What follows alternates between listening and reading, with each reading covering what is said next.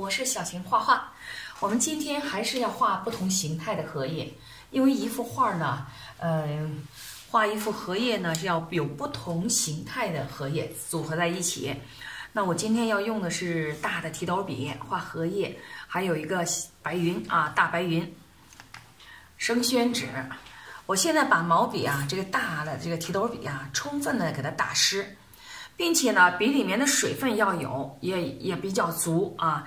我们现在呢，我们调一点墨，调淡墨，往那让把这个淡墨呢往那笔后调。我的笔呢基本上都平在这个盘子上了啊，因为我要让这个淡墨呢往那笔肚后面去走。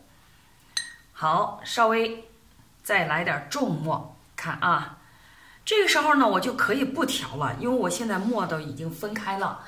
我现在可以把它充分的可以，啊，先画的这个一个离我近的一面儿啊，离我近的一面儿。你比如啊，我们今天画一个是侧面的叶子啊，那一半你看不着，所以说我们画要注意点这形态。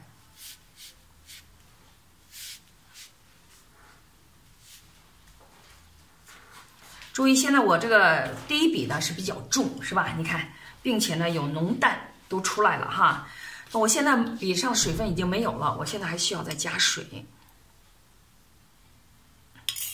从笔根处加水。但是我现在墨不要沾，我只需加点水就可以了。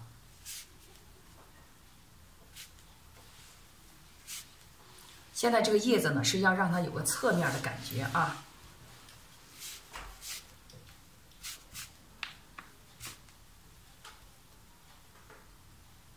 再加点水，我稍再加点墨，不要加太重了，啊，这个墨就不需要太重了啊。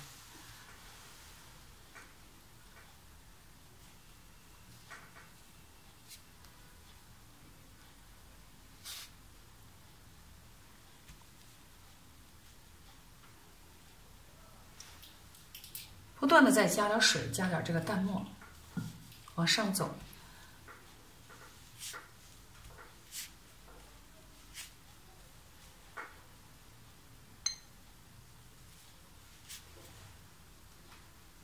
哎，你看这个侧面叶子，我们可以稍微有些地方不足的地方，可以修一下哈。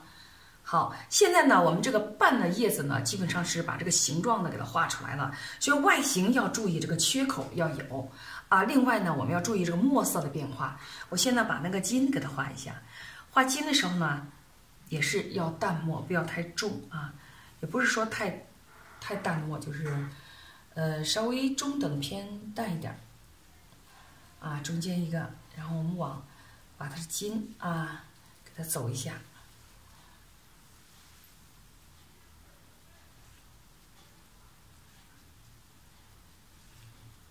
这个叶子呢，它是侧面的叶子啊，侧面的叶子，画的时候呢要有侧面的感觉啊。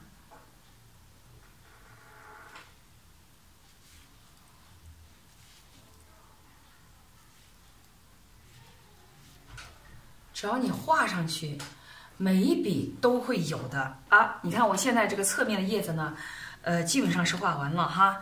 我现在把这个椰筋再给它深入一下。画椰筋的时候要活一些，不要卡的太到位了，要灵动一下啊，灵动一下。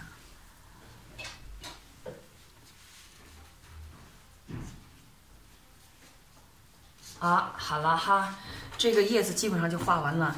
如果你要觉得还是稍微有点这个，我可以稍微蹭一点。你比如，哎，把它干笔给它蹭一蹭，让它跟那个一筋呢，跟那个面儿给它结合一起。这是侧面的荷叶。